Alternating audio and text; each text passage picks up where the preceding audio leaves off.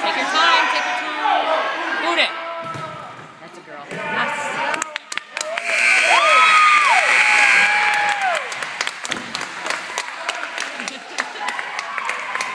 this is quite a week.